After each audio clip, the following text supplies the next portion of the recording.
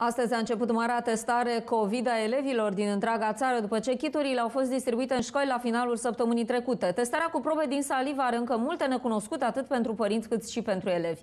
Aceștia din urmă și-ar dori ca elevii să fie verificați în școli și nu acasă.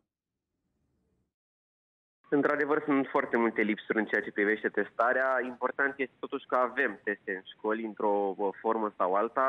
Uh, în marea parte a situațiilor am văzut că testele au fost distribuite către elevi și um, cele mai multe școli au decis ca aceste teste să fie administrate acasă, în mod individual, de către fiecare uh, elev în prezența părintelui. Elevii acuză însă lipsa unor reguli stricte legate de testarea COVID în școli, a unor norme puse pe hârtie și respectate de toată lumea nu a existat și nu există un cadru legal care să ofere cumva șansa elevilor de a se testa la școală în prezența profesorilor sau a unui cadru medical. Și tocmai de aceea noi am solicitat uh, responsabilitate din partea tuturor factorilor implicați în acest proces. În unele școli testarea se va face în clasă, dar cele mai multe unități de învățământ au decis ca elevii să se testeze acasă. Testarea COVID se va face în fiecare zi de luni și de joi. Se vor testa și elevii, dar și profesorii, învățătorii și personalul nedidactic din școală avem nevoie de înțelegere din partea profesorilor, astfel încât ei să participe activ la această procedură de testare dacă ea se desfășoară în școală, dar avem nevoie într-adevăr și de